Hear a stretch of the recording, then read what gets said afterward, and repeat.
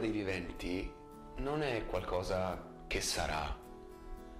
Se ce n'è uno, è quello che è già qui, l'inferno che abitiamo tutti i giorni, che formiamo stando insieme.